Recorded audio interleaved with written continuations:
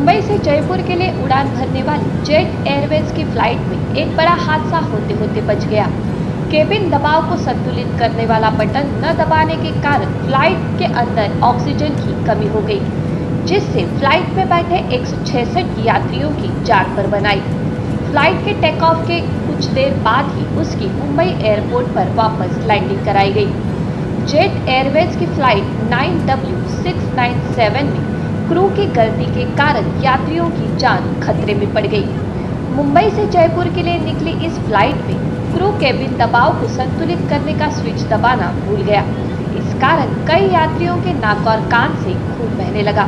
वहीं कई यात्रियों ने सिरदर्द की भी शिकायत की। फ़्लाइट के अंदर रिकॉर्ड किए गए वीडियो में साफ़ साफ़ दिखाई दे रहा है कि कैसे परेशान यात्री ऑक्सीजन मास्क का सहारा ले रहे हैं।